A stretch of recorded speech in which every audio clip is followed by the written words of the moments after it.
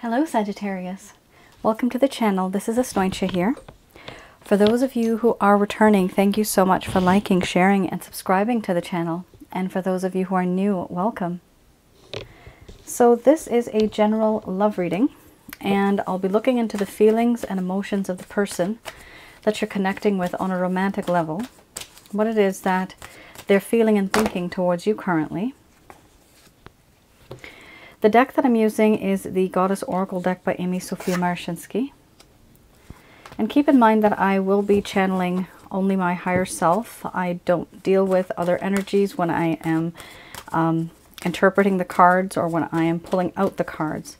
So there's no spirit. I don't deal with spirits, good or bad, in this particular area. So the only time I do channel is at the end of the video. That is to Archangels Michael, Raphael, and Gabriel.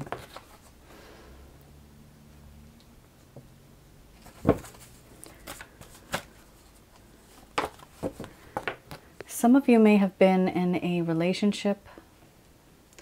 Some of you may have broken up from this relationship. For some of you, you may be in a situationship with this individual.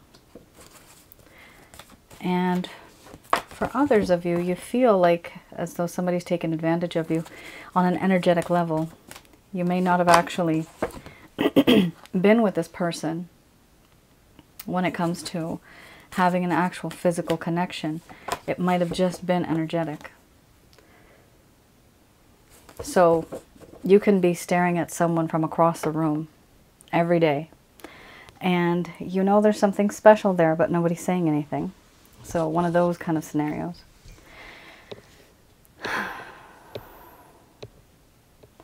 You have quite an array of cards here. You have some nice cards and some are a bit challenging.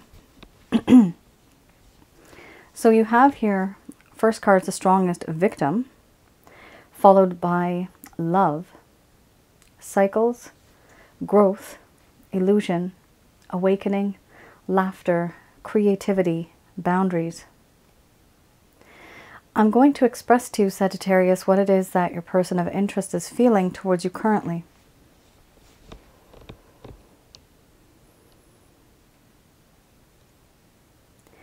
My dear Sagittarius,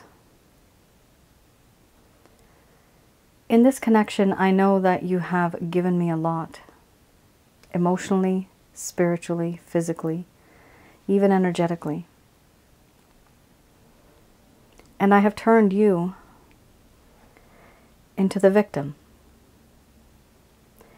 I have victimized you and everything that I've done where I have overindulged where I have taken advantage, where I have only used and manipulated. All of that I realize now, that was all me. And I shouldn't have done that. And I just realized that, that this is what I've done. Do I have any regrets right now? I'm still thinking about it. But why is this bothering me so much now? it bothers me because I realize that no matter what happens, I have this strange kind of love for you, this, this unconditional love. It just doesn't go away.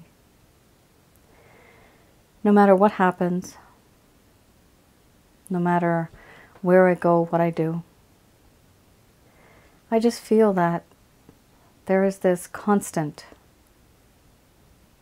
energy of love that flows like a river that flows underneath many, many layers of earth. It's that river that just doesn't stop. It's constant. It's unconditional love. And now I'm starting to obsess over this. I'm starting to obsess over the connection that you and I have together. It is very overwhelming. Is very special. And thinking about it just has me wondering why did I do what I did? It goes on and on in my mind, and a cycle comes and goes, comes and goes. I realize that I have taken advantage of you, and everything was very sudden, was very fast. But the problem is, with this speed, I was actually not able to truly see who you really were on the inside. I never really learned who you were. And now I want to grow and I want to get to know you more. I want to learn with you. I want to grow with you. I want to learn about your past, what you were like, what are your fears, what are your worries, what are your plans for the far future. Before, I didn't do any of that. All I did was victimize you. I had no interest in learning more about you. But now things have changed because I realize that I do have love for you.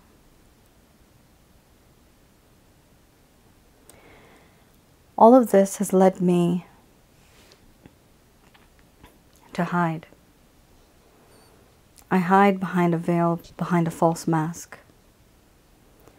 I don't show my true colors. I may act as if everything is okay, but in reality, I am contemplating and I'm thinking about the things that I've done because I am embarrassed. I'm embarrassed for treating you like this. You didn't deserve this. You deserved better. You deserved an individual that's going to learn with you, grow with you, learn more about you, and not just about your body.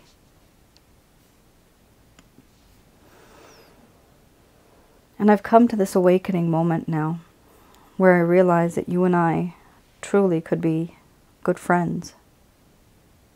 We were not before. You thought you were, but I was not in that mindset. I see things through your eyes now.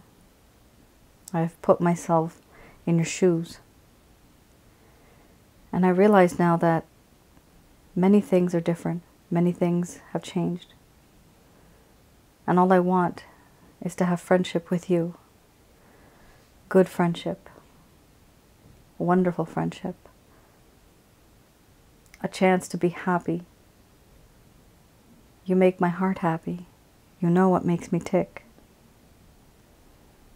I want to create something with you. Something long lasting for the world to see.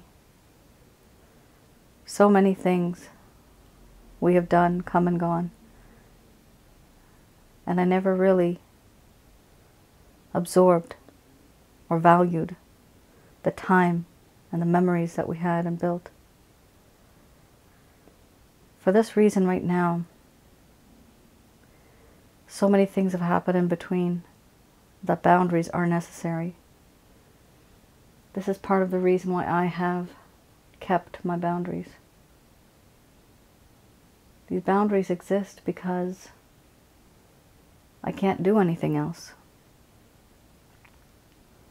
if I don't keep these boundaries up. Then I didn't I wouldn't know how to open up to you. I keep these boundaries up because I'm hiding from you behind a veil, behind a false mask. Because I turned you into a victim.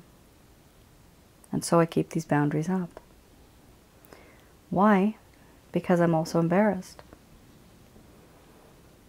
I don't know how to deal with you or with the situation. So I keep my distance. For me, that's safe. And that's what I feel comfortable with right now.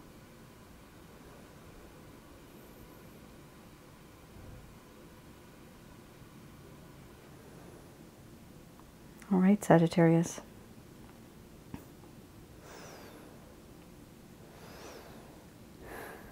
So some of you were in a connection here where it did seem that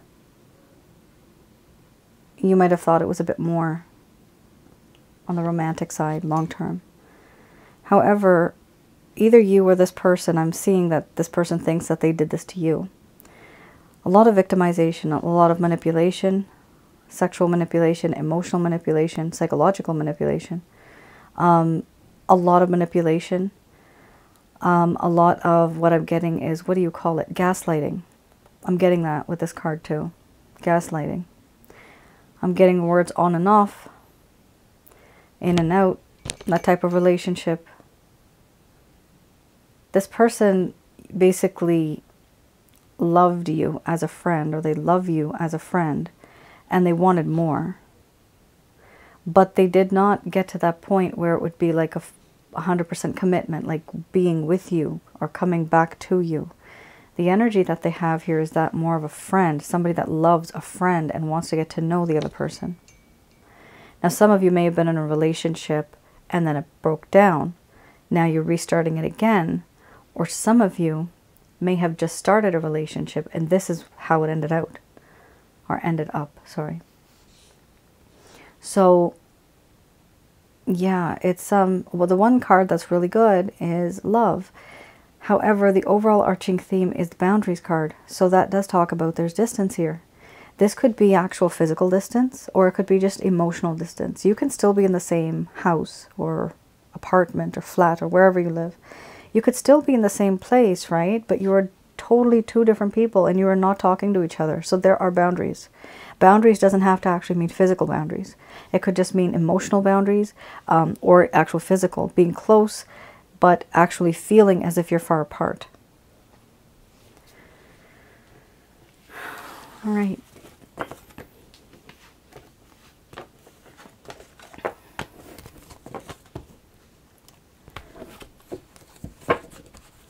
Hopefully my throat won't keep doing what's doing. It feels better now. Could have been just the energy, throat chakra. Person's kept boundaries. They're not talking to you. They're choking up. All right. We have here the Lover's Path Tarot.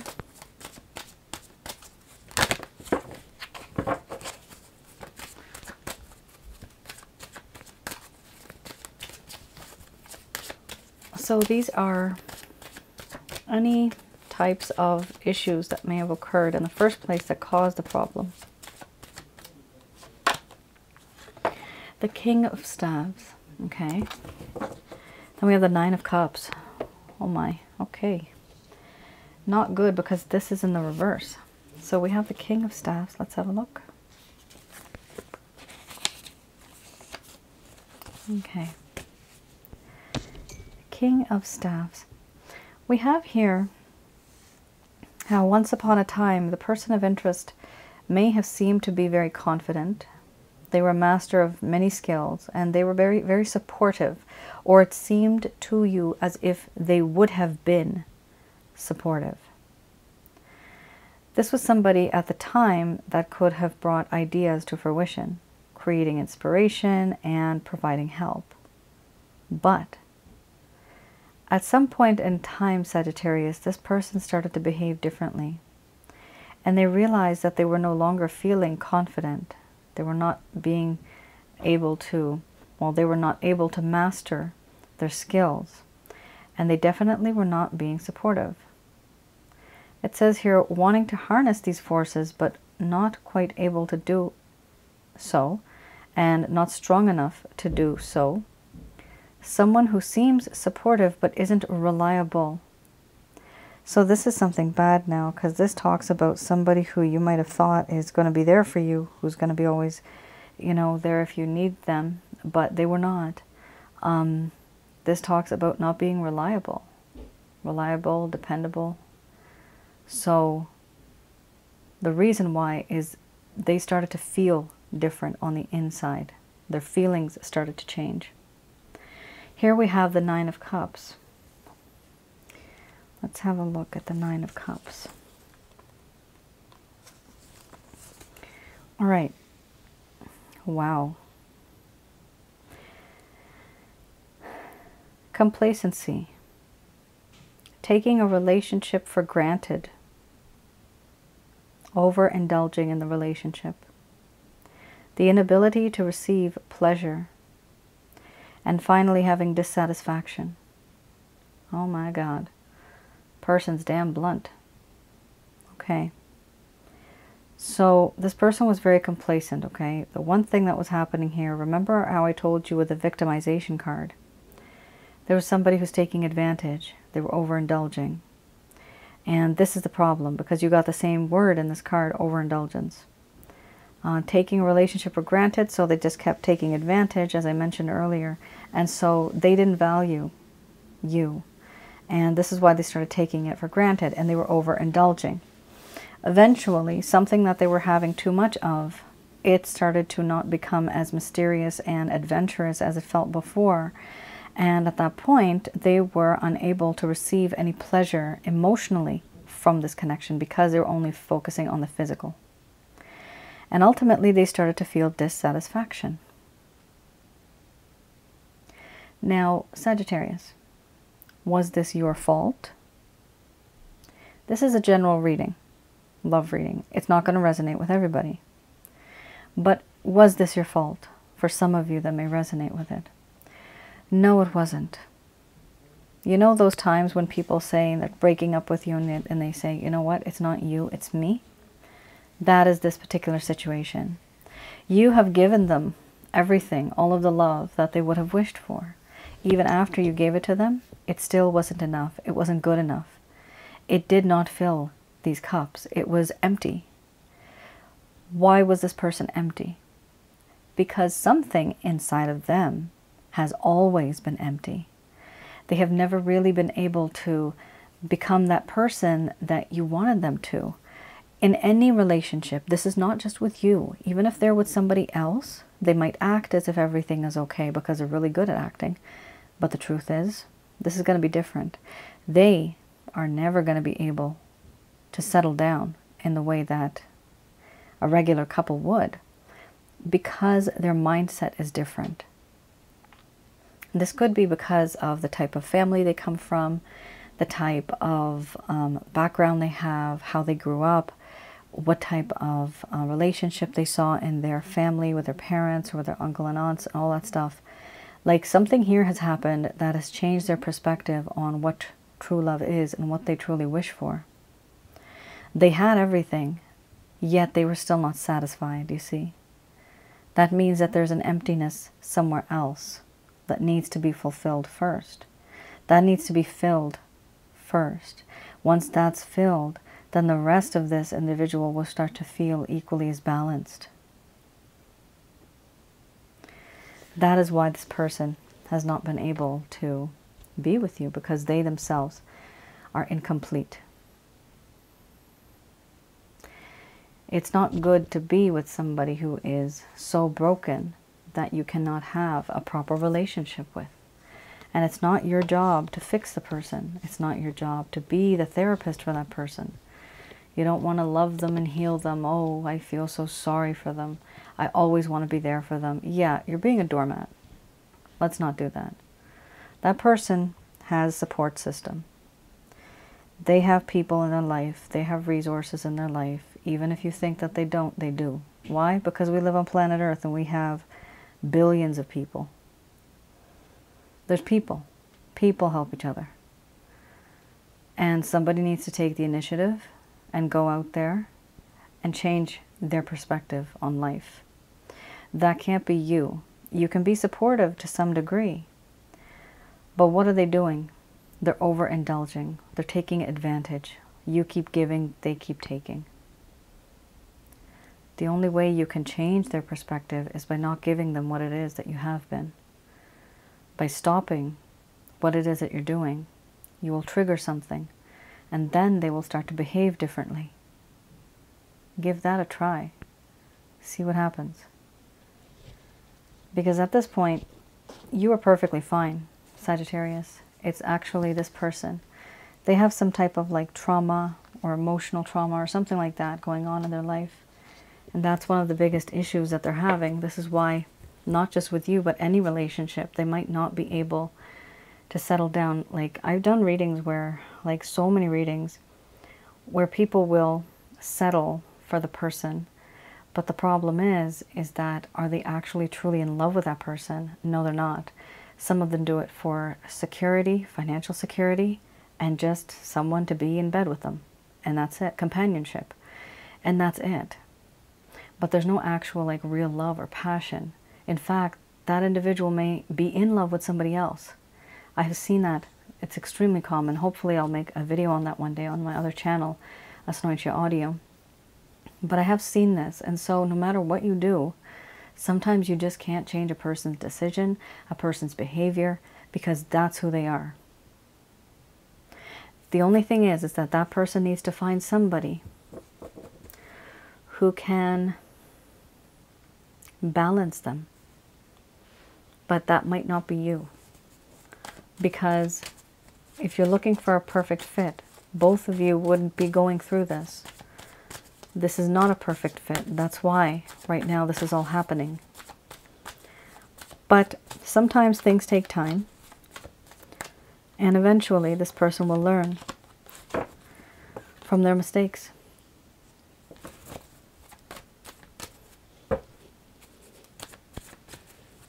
All right, let's have a look here. This is the Rider-Waite deck, not the Rider-Waite. This is the Beginner's Tarot deck, similar to the Rider-Waite. We have the Knight of Pentacles, and we have the Queen of Cups. These are any actions, any intentions, any plans that this person might have towards you in the coming future. Interesting. They do. Oh my. So we have here the Knight of Pentacles. So this does talk about how this person wants to come back into your life. Slow and steady wins the race. This is actually a good card. Some people call this a slow-ass knight. I actually like this knight because this knight has thought long and hard about this entire connection. In their mind, they've been there, done that. They have experienced and thought of all the scenarios, all of the things, and when they're coming back, they're coming back, sorry, they're coming back as somebody who is wiser. Because they're coming back slowly, they're not as impulsive. Before, they may have been very impulsive, very rash with their decisions, impulsive, um, if I already said that, or compulsive. Uh, they were just very take action first and think later. But you see, that's a problem because at that point in time, then nobody progresses anywhere because whatever you thought was going to be a promise no longer ends up being a promise. So with the Knight of Pentacles, I personally like this card, but it, because it means this person has thought long and hard about the situation. They have retreated, they have thought about it, and now they're coming steadily with a secure offer towards you. So, you know, do I see action here? Definitely with the Knight, with the Knight of Pentacles. Yeah, this person is going to reach out to you. We also have here the Queen of Cups. They finally recognize you as that one individual that gives them unconditional love. They see this, they sense this, they feel this, they admire this. And this is what they want because they, they see that they're not going to get this from anywhere else. You see, Sagittarius, you have boundaries, right? You had boundaries under the bottom of the deck. Boundaries is good because boundaries gives you both breathing space, time to think and reflect and to concentrate on what really matters. Before, you didn't have that. And for that reason, there was a lack of thought being put into it. But now, because there was some distance, this person had time to ponder, to think about things, to fix things in their mind. So, they recognize the value of you. We also have here the Five of Swords. There are a few people around who are causing problems. This could be family, friends, society, whatever. Um, but there are other people, and the people that we have here are in competition. It's uh, actually competitive. There's some ego-oriented competition in this connection. This could be other people who are also jealous, maybe some rumors, some people who are causing problems, but also this person realizes that there are other people in this connection potentially and they're starting to feel fear. They don't want them to have you, so what they're going to try to do is have you to themselves. They're going to try to win you and have that victory. Now, it's funny because this person, out of all of the cards, you have a queen, you have a, a knight, you even have an emperor here under the bottom of the deck. But the last card here is a page of cups, a little page, little person. a shy person.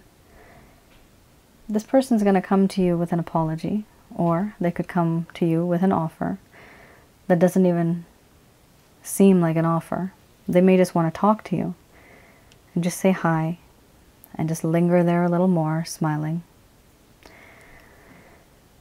You'll know that this person doesn't have the courage. They're not as bold as they used to be. Let me tell you, they are bold because they are the emperor.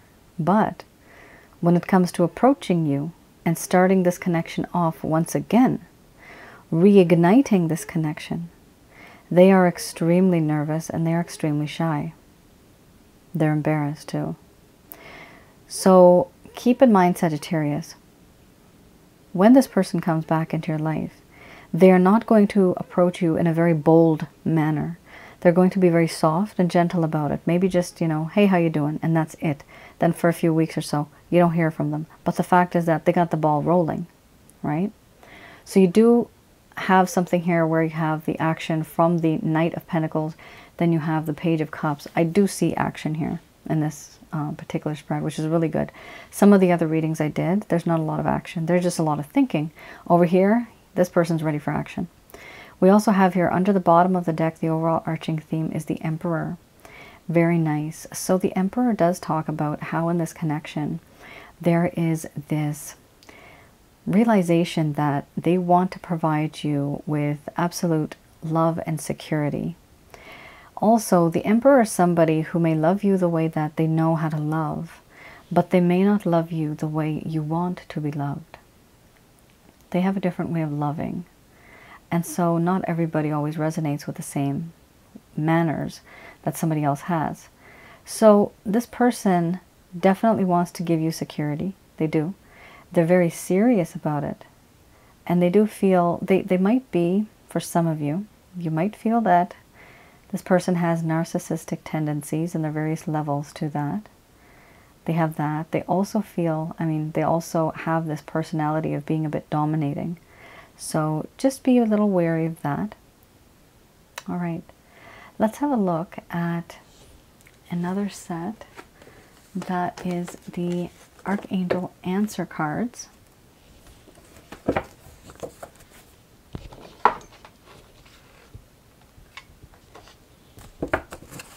Okay, oops, just going to do a quick prayer first.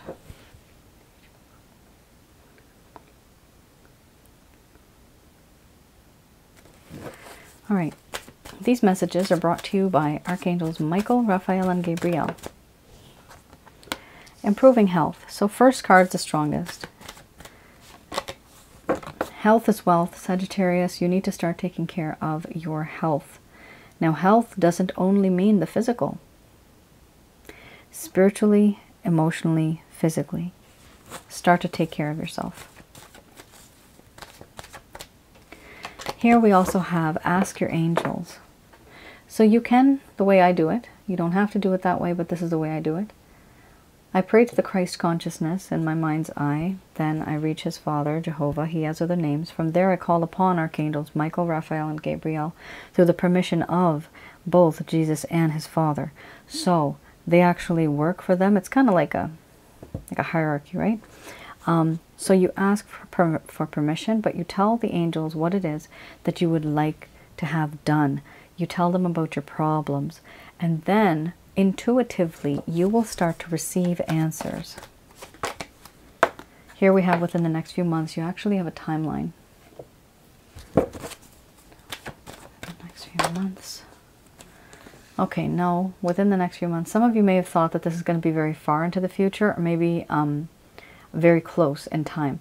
But they're saying, no, this is going to take a few months. There's going to be compromise. That's good. Sorry. Two, I'm putting them back. They came out. There's something better and take action, but I don't feel that coming out. Two of them came out, but it wasn't uh, me shuffling. We have listened to... Didn't I just say that? I just said that when you ask your angels, you're going to be getting answers and you're going to have to listen to your intuition. I just said that. So yes, do listen to your intuition because there's going to be a compromise. The compromise that you're going to get is basically a, a situation where you're going to have to let go a little bit of the problems and they will let go a little bit and you have to accommodate them, they accommodate you, and then you both meet in the middle. You remember earlier how I said this person's not ready, but you're ready? Well, that's what they're saying here, is that you are ready for this particular this particular kind of situation that you find yourself in. You are ready, however they are not. There's going to be a lot of abundance in this connection provided there are and there is compromise. If there's no compromise, nothing's going to work out. So Sagittarius, with the two cards that did come out, one of them is a huge meaning though, when there's something better. Two things. There's something better than the situation, and there's something better than the person. What I'm getting here is that you still want to be with this person, the majority of you. If you don't, then most likely this reading is not for you. Um, but this message is for those of you that probably want to make things work. They are saying here that things are possible within the next few months, but there has to be a compromise in order to do that. For some of you, there's something better than this person, and for others of you, there's something better than the situation that you're in. Either way, the angels here are saying that you're ready. You're ready because emotionally, spiritually, physically, you have been ready for a long time. You're the one who's already prepared to be in a connection, in a relationship, even be more committed. But the other person, they were not ready. So, compromise can mean many things. You might have to adjust according to them, their lifestyle, their beliefs, but they also have to adjust to you as well. Otherwise, it won't work out. It has to literally be both ways. That's the only way it's going to work out. So Sagittarius, that is your reading. I hope I was able to provide you with some clarity and some guidance in your situation. Do let me know in the comments below. I just want to have a quick peek. I want to ask just one more card.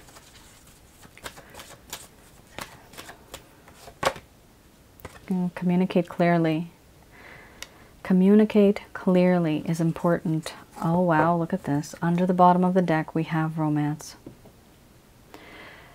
So, Sagittarius, some of you have not been able to communicate as clear as you used to. Um, but when the time comes, don't overwhelm this person with too much information. They can only handle a certain amount of information. If too much information is given, then they may get lost in the details and they won't remember what's truly important. Under the bottom of the deck, this was literally like so intuitive. This is the only card, romance. That's the best card in the house. I love this card because this talks about how this is a spiritual connection. You have a spiritual connection. And this card overpowers all of this. This is like the umbrella that covers all of this. It's all enveloped in a romance. This is a spiritually bound romance. This is either your twin flame, your soulmate, your karmic partner. Um, maybe more, but those are the most powerful. This individual that you're dealing with, they also find it hard to let go. And they also find it very difficult um, how to balance this connection between uh, the both of you. If some of you are interested, you can go to my website and have a look. I'm still doing past life readings. It takes a while for me to do them, but I'm still doing them.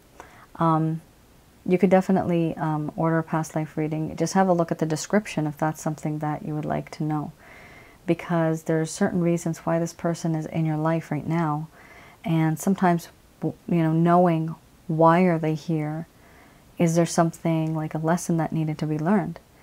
Um, this is something that comes through those readings usually. All right, Sagittarius. That is your reading. I hope I was able to provide you with some clarity and some guidance. Do let me know in the comments below if any of this resonated. All right then. You take care and stay safe. Bye now.